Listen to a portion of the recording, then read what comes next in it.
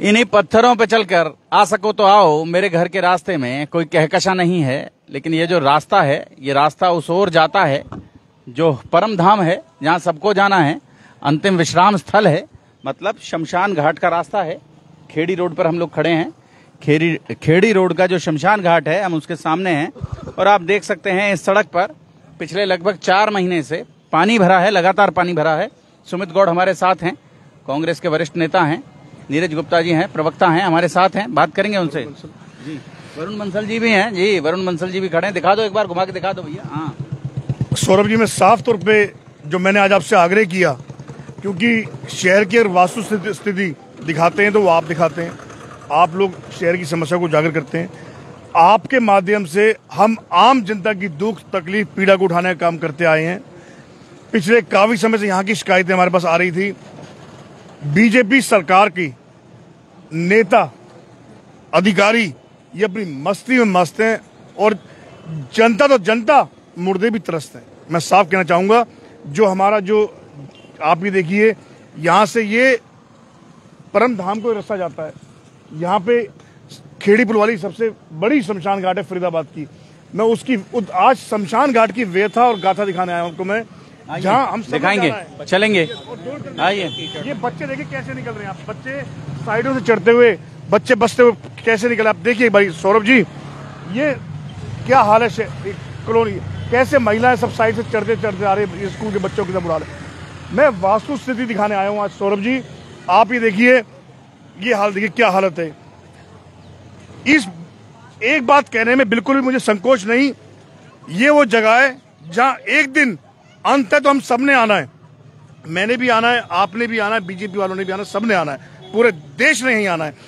लेकिन ये smart city वाले बीजेपी के नेता इन लोगों से ये कहना चाहता हूँ इस शमशान घाट जैसी जगह का जहाँ से सबको लास्ट के समय मुक्ति मिलती है क्या हालत देखिए? पानी इतना गंदा पानी के काई तक जम चुकी है। आप कूड़े का ढेर देखिए। समंदर। यहाँ पे जो लोग अपने परि, परिजनों की डेड बॉडी को लेके आते हैं उनको भी पानी और गड्ढे के मारे जाम में फंसना पड़ता है। मतलब ये दो मिनट का रास्ता कम से कम दस मिनट में क्रॉस होता है। ना सड़क चौड़ी है और इतना बुरा हाल जो शमशान घाट का है केवल केवल इसके कारण कारण है बीजेपी सरकार के नेता।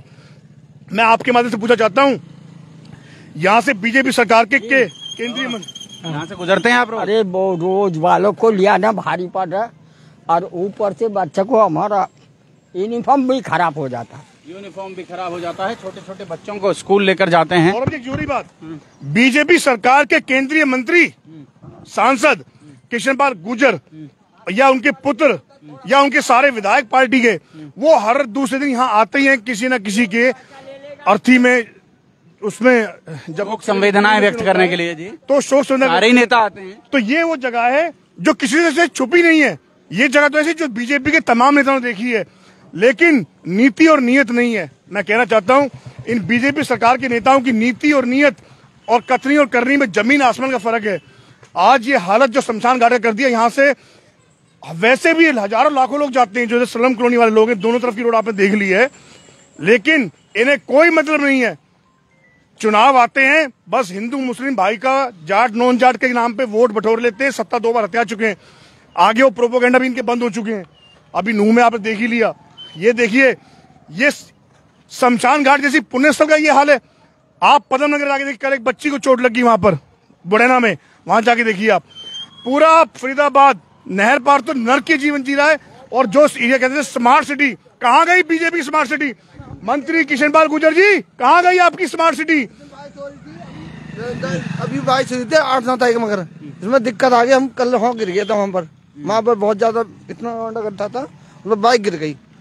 नहीं नहीं बचाओ जी कहते पाम और फूक गया हमारा। तो आप देख सकते हैं फरीदाबाद लगातार लोग यहाँ आते हैं और ये स्वर्ग आश्रम मवई रोड नहर पार। जी। किशन पाल जी को बुला लो। अब कुछ नहीं करना है वो तो उद्घाटन कर जाएगा बोलो यहाँ एक शोरूम तो हर तीसरे चौथे दिन तो आते ही हैं कृष्णपाल जी यहाँ नहीं ये मतलब भी नहीं आज कोई डेड बॉडी आती है तो सं- संवेदनाएँ व्यक्त करने नहीं करता ये लोग खुद ही पैसा लेते हैं। यहाँ कोई नहीं आता सरकार यहाँ चार चार नेता है विजेंद्र है। जितेंद्र है वहाँ कांग्रेस के ललित नागौर है कुछ नहीं करता। मैं ज़ोर से बोल रहा हूँ कुछ भी नहीं। सरकार ही नहीं है जी आप कैसे कांग्रेस पे आरोप कैसे लगा सकते हो? कैसे आप ललित नागर पे या कांग्रेस के किसी भी नेता पे आरोप नहीं लगा सकते? क्योंकि पिछले नौ साल से देश में और प्रदेश में बीजेपी की सरकार है। इनके बीजेपी सरकार के नेता भी मस्त हैं अधिकारी भी मस्त हैं। बीजेपी सरकार का हक पड़ता है पूरा काम करने का। ये कांग्रेस क्या करेगी? ना ललित नागर सरकार है। अमित अरे भगवान एक मिनट आपने थोड़ा सा ये करो। ये देखो हॉस्पिटल करने के अरे अमृता हॉस्पिटल में तो सुना है। कुछ नहीं है पर। अरे भगवान। ये देखिए ये मट्टी के ढेर गंदगी के ढेर। ये कबाड़ ये लोग खड़े हैं यहाँ लोग खड़े हैं। रेगुलर नमस्कार सर और दिक्कत होती है सड़क से बड़ी परेशानी है देखो। क्या शुभ नाम आपका? देखो ये अब नेता करेंगे काम पे उनसे बोलो काम करें हमारे बड़े परेशानी आने में बड़ी अर्थी लेकर आए बड़ी परेशानी रहती है निकलने में। क्या नाम आपका? गिरिराज प्रसाद। राज प्रसाद जी हैं। हाँ अर्थी लेकर आते हैं बहुत दिक्कत होती है।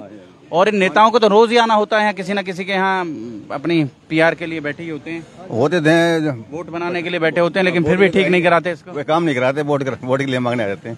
तो हैं, नौ साल से आप ये देखिए नौ साल से बीजेपी सरकार है। नौ साल से नगर निगम के अधिकारी सोए हुए हैं बीजेपी के नेता सोए हुए हैं। ये हालत है ये खाली शमशान घाट की नहीं है। और एक विशेष बात करना चाहता हूँ, पिछले एक हफ़्ते से बारिश भी नहीं हुई है। आज की तारीख क्या है? दस तारीख, दस अगस्त। पिछले एक हफ़्ते बारिश नहीं हुई, तब ये हालत है। अगर एक हफ़्ता, अगर बारिश हो जाए ना तो शमशान घाट के अंदर तक पानी आता है। देखिए, इन बेचारों ने मजबूरी में अपना इलाज कर रखा है। ये इन्होंने स्लोप बना दिया ताकि अंदर अंदर तक पानी नहीं आए। कई बार ऐसा होगा क्या होता है? आप देखें, लोग आते हैं, सैकड़ों की तादाद में लोग आते हैं, शमशान घाट आते हैं। और इन सबको इसी गंदे पानी से गुजर कर आना पड़ता है।